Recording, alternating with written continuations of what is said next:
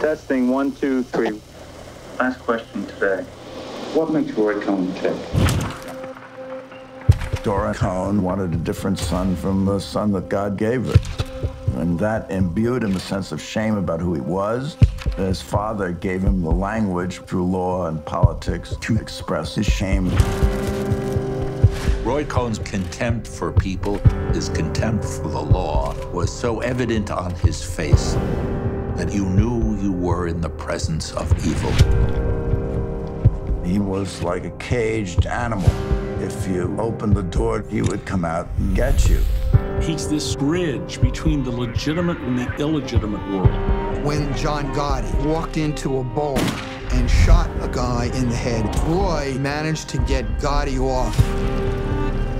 We have Cohn investigating homosexuals very aggressively. But he was the one who threw the good parties. And there were rumors he was picking up male prostitutes. He could pull strings and bring people together. He could pull strings and make people do things. I was in his office when Nancy Reagan called and thanked him for getting her husband elected. Cohn looked at Donald Trump as a protege.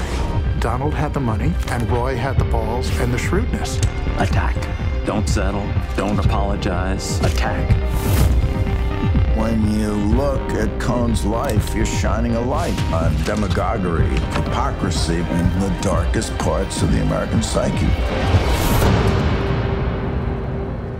According to Roy, Roy was responsible for everything important that happened in the United States.